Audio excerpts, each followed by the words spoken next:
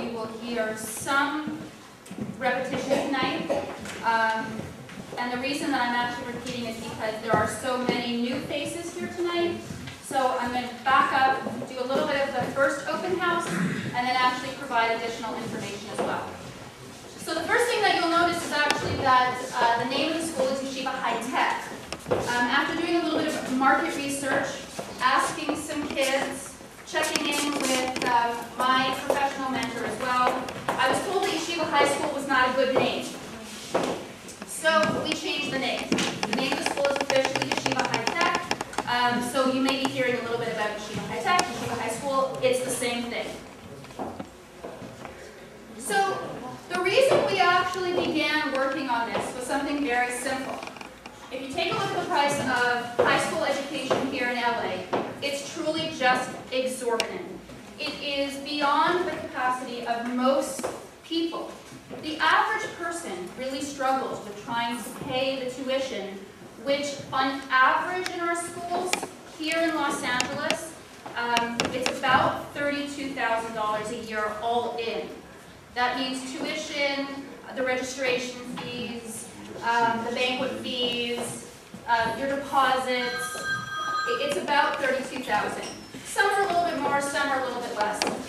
Um, by the way, it's not just Los Angeles. So when I talk about the schools in our community, I'm not just talking about the Los Angeles community, I'm really talking about Jewish day school across North America.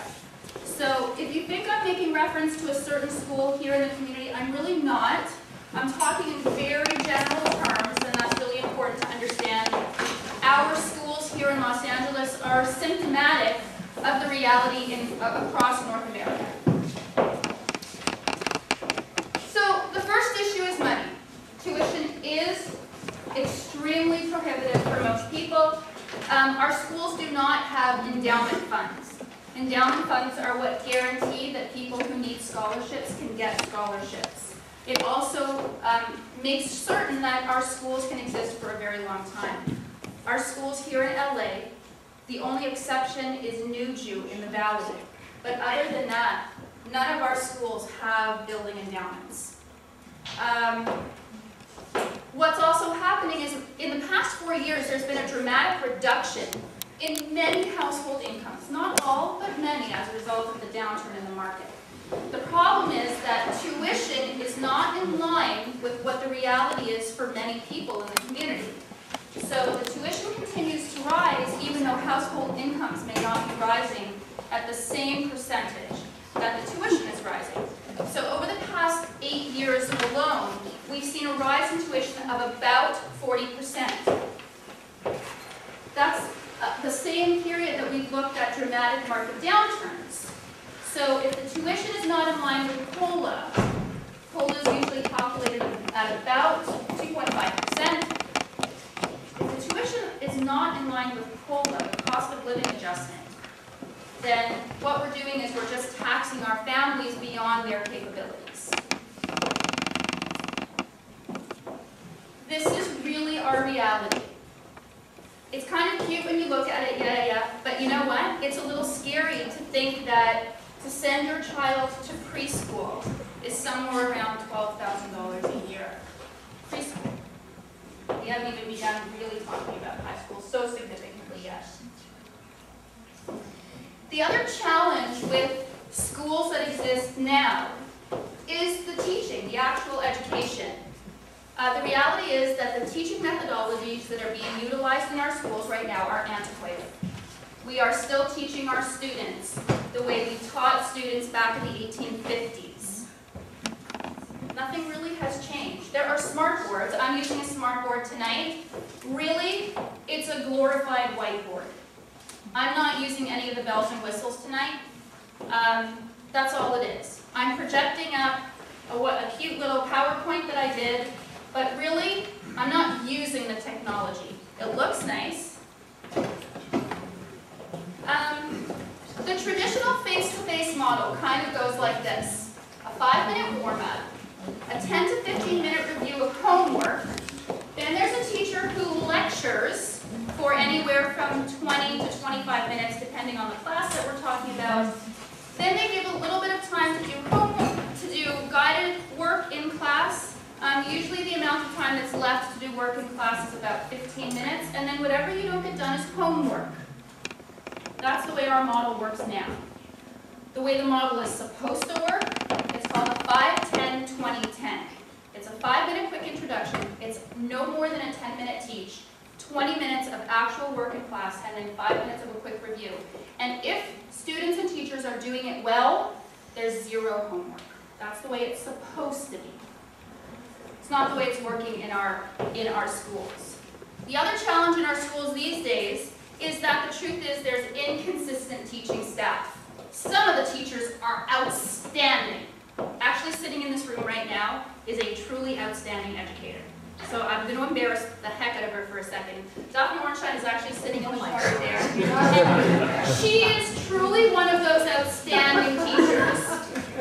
She takes education in her classroom to the next level. No question. There are very few and far between Daphne Ornsteins. Most teachers, most teachers are truly not that good. Um, and part of the reason is that some of our schools have really become places of tzedakah. What do I mean by that? I mean, um, Moishe's cousin from Israel just arrived and really needs a job, so how about we give that person a job? So we're taking people who may not have any, any, any background in pedagogy at all, and we are sticking them in classrooms with our children because they need a job. So just think about that for a second.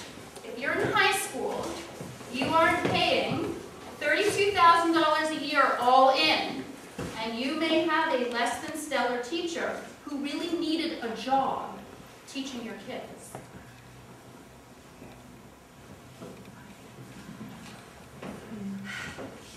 The other challenge with our system is that it is entrenched and inflexible.